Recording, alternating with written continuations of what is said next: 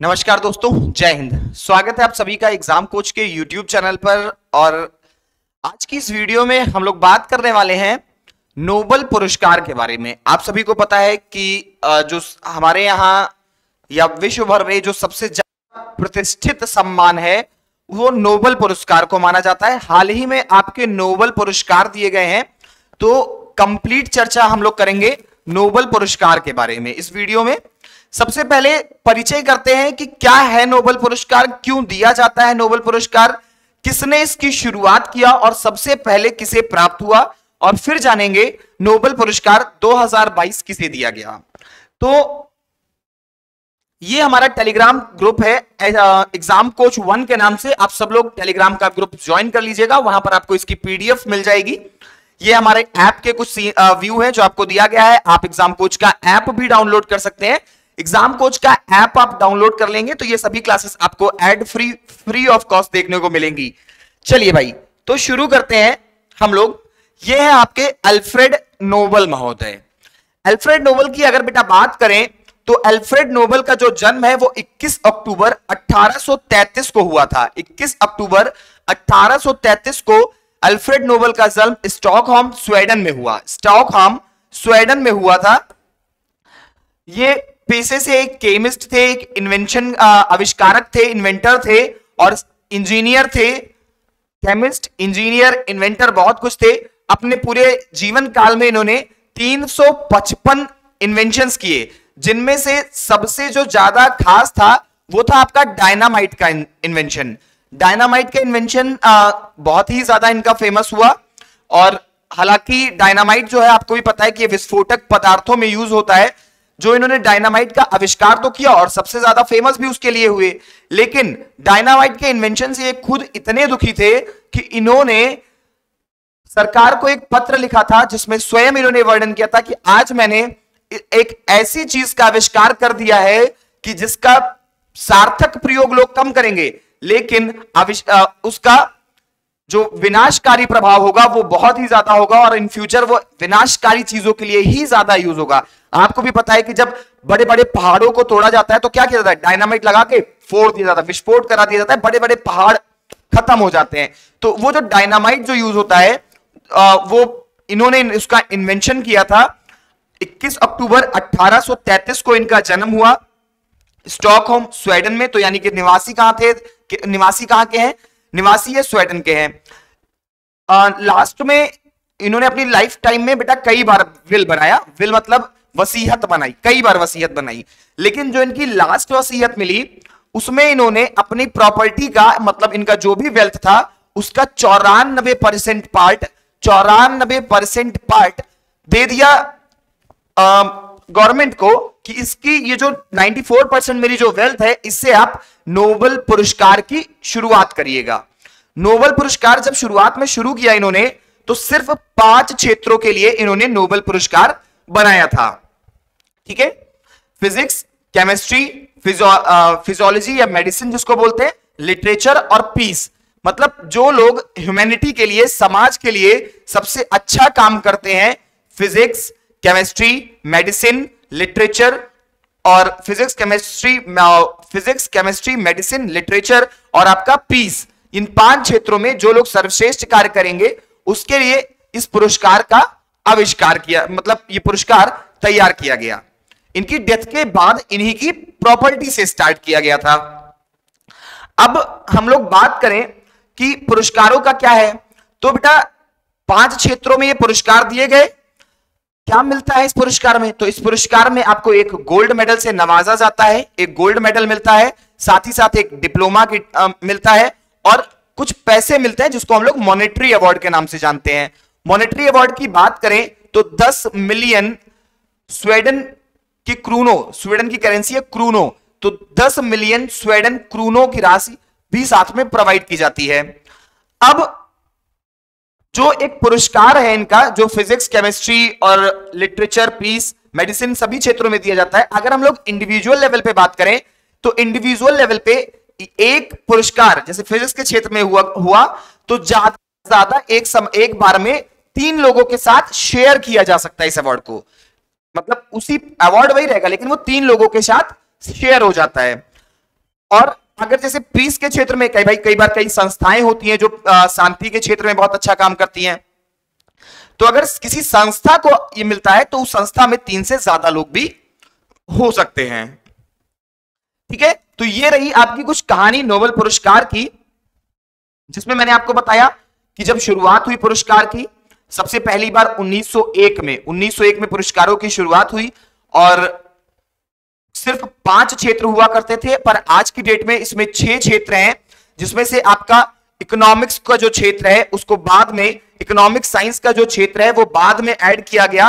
वो ऐड किया है आपका सिवर्जिस रिक्स बैंक ने अठारह उन्नीस में सिवर्जिस रिक्स बैंक जो स्वीडन का बैंक है, इसने इकोनॉमिक साइंस के फ़ील्ड को ऐड कराया। उसका जो पैसा लगता है, जो खर्चा आता है, वो ये बैंक खुद उठाता है इकोनॉमिक साइंस के क्षेत्र में, ठीक है? अभी तक की बात करें तो 609 बार ये पुरस्कार दिए गए हैं, जिसमें 975 लोगों को दिया गया। 609 बार इस पुरस्कार का, वितरण का आयोजन किया गया, जिसमें 975 लोगों को नोबल पुरस्कार से नवाजा गया। 25 संस्थाओं को पीस के क्षेत्र में संस्थाएँ को मिलता है, मैंने आपको बताया। तो 25 संस्थाओं को नोबल पीस प्राइज प्राप्त हुआ है, जिसमें से पाँच लोग ऐसे हैं, जिनको एक नहीं, बल्कि एक से अधिक बार नोबल पुरस्कार से सम्मानित किया गया है।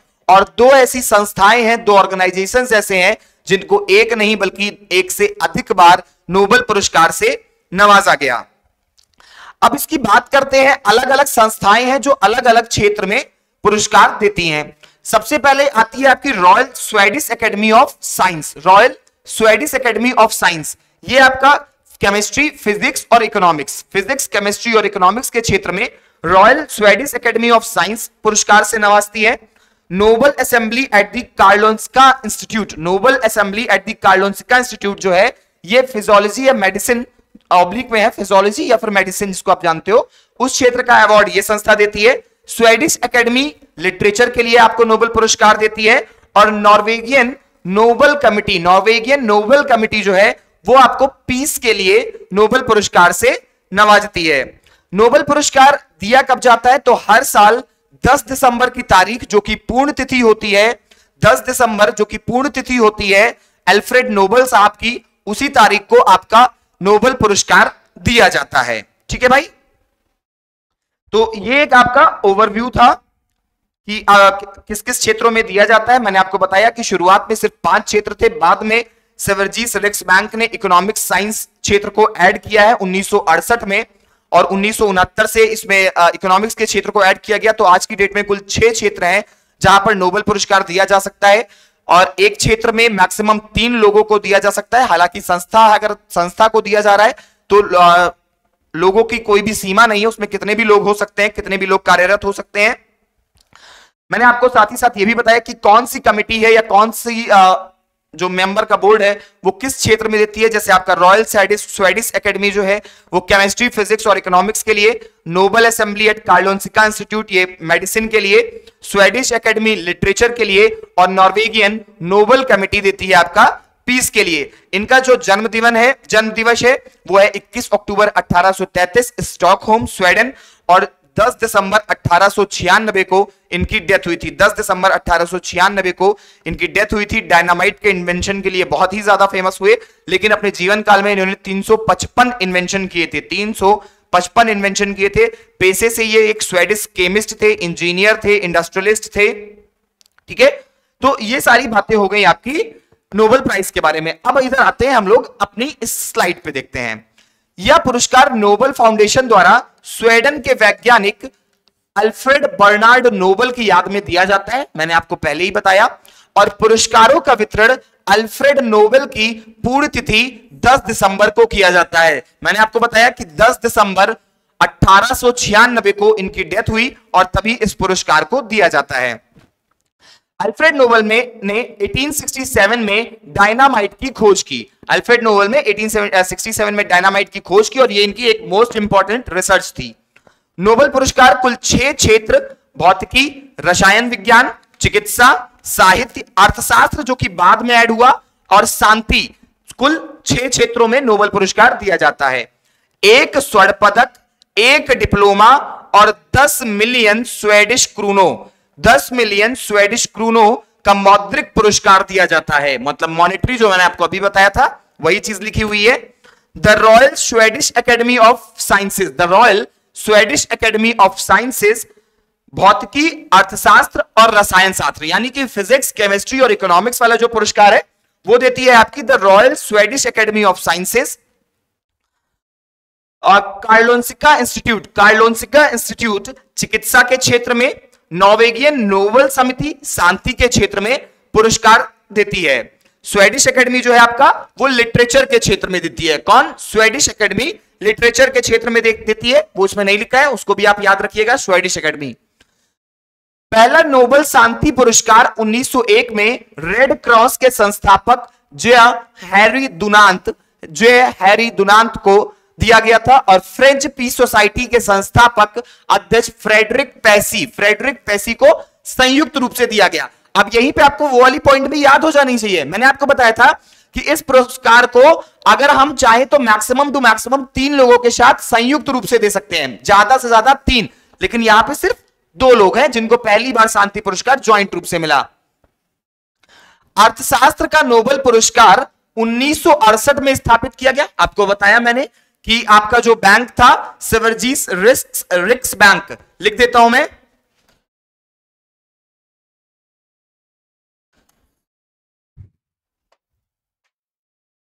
सिवरजीस रिक्स बैंक इसने इसको फंड किया था इकोनॉमिक्स के लिए। पहली बार उन्नीस सौ उनहत्तर में दिया गया, उन्नीस सौ अड़सठ में शुरुआत हुई। किसको दिया गया था? रैगनर फ्रिक्स और जॉन टिनबर्गेन को दिया गया था। शांति के लिए दिए जाने वाला नोबल पुरस्कार ओस्लो में, जबकि बाकी सभी पुरस्कार स्टॉक होम। शांति के लिए कहा, ओस्लो में और बाकी सभी स्टॉक होम में दिए जाते हैं। महात्मा गांधी को कभी शांति का नोबल पुरस्कार नहीं मिला, क्योंकि आप सभी जानते हो कि सत्य और अहिंसा का नाम आते ही सबसे बड़ा नाम आता है गांधी जी का। हालाँकि इनको दुर्भाग्य की बात कहें, आज तक नोबल पुरस्कार नहीं प्राप्त हुआ, जबकि इनका नामांकन जो है, वो पाँच बार पचास लोगों का नामांकन होता है फाइनल। पचास लोगों का फाइनल नामांकन होता है, ये भी याद रखना। जिसमें फाइनल इनको, इनका जो नाम होता है, वो पचास साल के लिए लिस्ट में रखा जाता है। तो गांधी जी का पाँच बार इसके लिए नामांकन हुआ, हालाँकि इसके लिए कभी इनको नोबेल पुरस्कार मिला नहीं है। रविंद्रनाथ टैगोर भारत के पहले नोबेल पुरस्कार विजेता थे, जिन्हें 1913 में साहित्य के क्षेत्र में गीतांजलि के लिए इस पुरस्कार से नवाजा गया। किसे? रविंद्रनाथ टैगोर जी को सबसे पहले आ, इस पुरस्कार से नवाजा गया। दूसरे सीवी रमन ने प्रकाश से जुड़े रमन इफ़ेक्ट जो आप लोग फिजिक्स में पढ़ते हो रमन इफ़ेक्ट की खोज की थी उन्हें 1930 में फिजिक्स के क्षेत्र में पुरस्कार दिया गया। तो आपसे बेटा एग्ज़ाम में क्वेश्चन पूछा जाता है याद रखिएगा कि सबसे पहला नोबेल पुरस्कार सबसे पहला रविंद्रनाथ 1913 में रविंद्रनाथ टैगोर जी को दिया गया। दूसरा पुरस्कार 1930 में सीवी रमन जी को दिया गया डॉक्टर सीवी रमन को दिया गया फिजिक्स में अर्थशास्त्री अमृत सेन को उन्नीस में अर्थशास्त्र, यानी कि इकोनॉमिक्स इकोनॉमिक्स के क्षेत्र में दिया गया। नोबेल पुरस्कार दिया गया था। 2014 का शांति का नोबेल पुरस्कार कैलाश सत्यार्थी कैलाश सत्यार्थी को मिला है। साल 2019 के लिए अर्थशास्त्र का प्रतिष्ठित नोबेल पुरस्कार भारतीय मूल के अमेरिकी अर्थशास्त्री अभिजीत बनर्जी को दिया गया। तो ये बेटा ओरिजिनलिटी क्या है कि ये भारतीय मूल के हैं अभिजीत बनर्जी जी, लेकिन अभी फ़िलहाल जो इनका रेजिडेंस है, वो कहाँ पे है? वो अमेरिका में है, यानी कि एनआरआई है ये। तो इनको दिया गया है 2019 का अभिजीत बनर्जी को। तो यहाँ पे आपको पूरा भारत दिखेगा।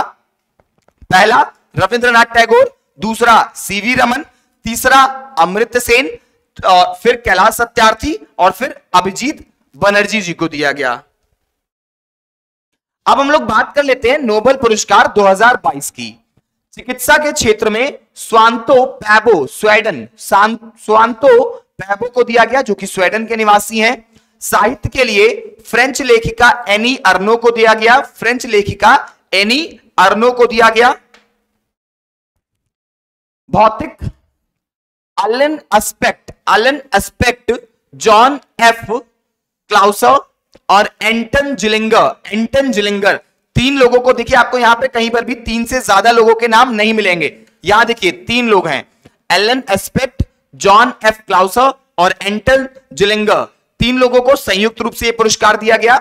रसायन के क्षेत्र में बात करें केमिस्ट्री के क्षेत्र में बात करें तो कैरोलिन बेल्टोजी मॉर्टिन मियलडॉल और के बेरी सार्पलेस के बैरी सार्पलेस यहाँ पर भी आपको देख रहे होंगे कि केमिस्ट्री के क्षेत्र में तीन लोगों को ज्वाइंट के पुरस्कार मिला। अर्थशास्त्र के क्षेत्र की बात करते हैं।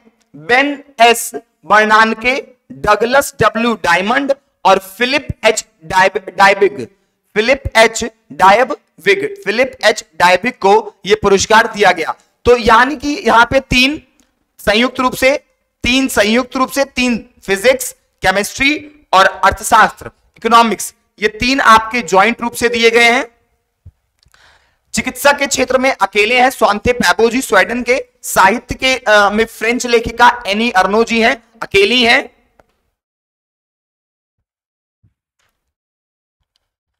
शांति के लिए बेलारूस के मानव अधिकार कार्यकर्ता एलएस बियलात्सकी के अलावा दो संस्थाओं, रूसी समूह मेमोरियल, रूसी समूह मेमोरियल और यूक्रेनी संस्था Center for Civil Liberty Center for Civil Liberties के नामों का ऐलान किया गया। कुल मिलाकर के यहाँ पर भी तीन संस्थाओं को शांति पुरस्कार दिया गया। एक आपकी यूक्रेन की है, दूसरी रूस की है, क्योंकि भाई सबसे ज़्यादा शांति की ज़रूरत इस वक्त यूक्रेन और रूस को ही थी।